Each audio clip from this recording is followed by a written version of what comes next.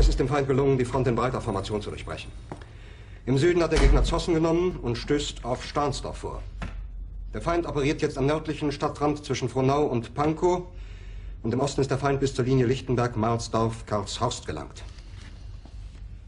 Mit dem Angriff Steiners wird das alles in Ordnung kommen. Mein Führer, Steiner. Steiner konnte nicht genügend Kräfte für einen Angriff massieren. Der Angriff Steiner ist nicht erfolgt.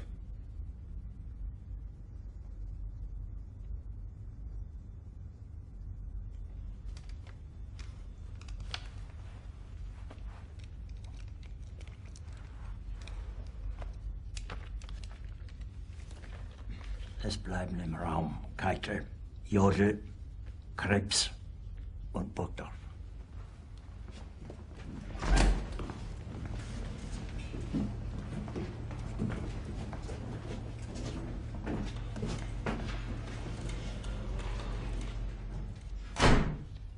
Das war ein Befehl!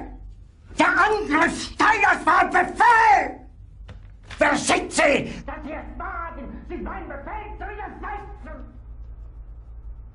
So weit ist es also gekommen.